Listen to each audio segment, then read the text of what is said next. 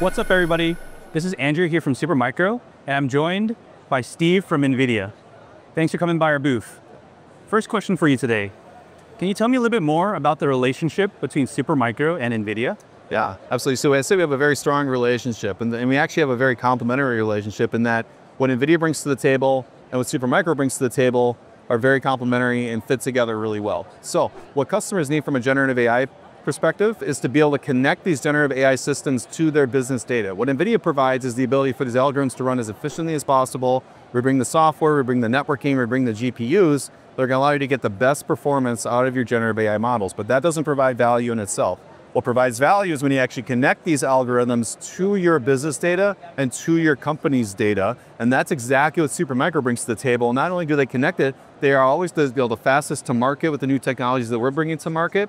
Their, their speed and precision, their engineering teams are top notch to be able to bring these, these solutions to market as quickly as possible and their ability to get it installed, up and running, and working inside of your data centers is absolutely top notch. Just to be able to use the Supermicro to connect these AI algorithms, these powerful AI, AI algorithms to your business data, that's what Supermicro brings to the table. That's what NVIDIA doesn't do, frankly, but Supermicro does that incredibly well. Fantastic.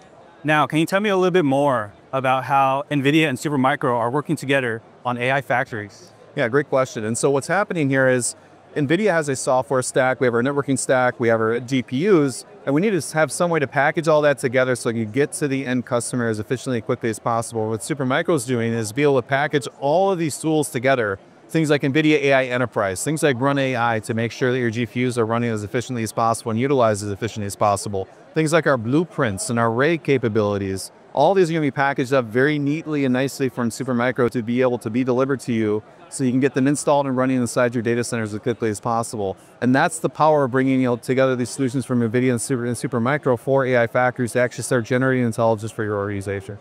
Great.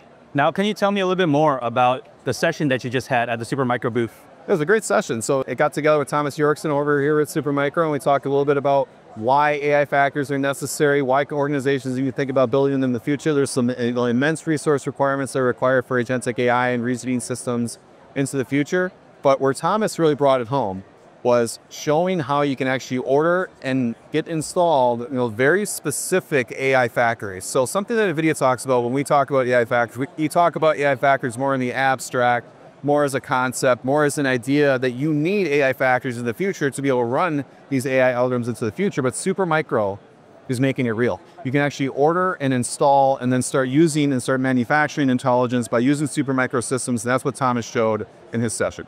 Great. Thanks, Steve, for your time. Thank you. Bye.